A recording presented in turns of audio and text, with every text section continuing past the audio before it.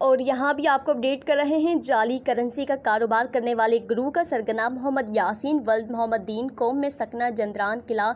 अपने साथियों के हमरा मेन बाज़ार शेरगढ़ के बड़े शॉपिंग सेंटर में गए और ख़रीदारी करने के बाद जाली नोट थमा दिए, जो कि करेंसी डिक्टेटर मशीन में चेक करने के बाद जाली साबित हुए। इसी असना में शेरगढ़ पुलिस को बजरिया फ़ोन इतला दी तो मुलजमान पुलिस पार्टी को देखते ही राह फरार इख्तियार करने लगे।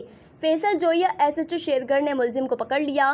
मुलजिम यासीन ने इब्तदाई तफ्तीश में बताया कि वो काफ़ी अरसे से जाली करेंसी का कारोबार कर रहा है।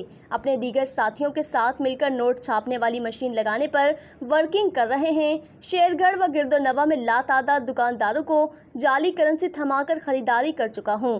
पुलिस ने मरकजी मुलजिम से जाली नोट बरामद करके इंजुमन ताजर शाहजेब अब्बास की तहरीरी दरख्वास्त और सीसीटीवी फुटेज के तहत उसके खिलाफ अड़तालीस नाइन बी एक सौ सत्तर की दफात के तहत मुकदमा नंबर तीन सौ चालीस बाईस दर्ज करके मजीद नोटों और नोट बनाने वाली मशीन की बरामदगी दीगर मुलजमान की गिरफ्तारी के लिए अदालत मिजाज से रिमांड जिसमानी हासिल कर दिया है। Faisal Zoya S H O के मुताबिक अहम तरीन इनकशफात की तो है।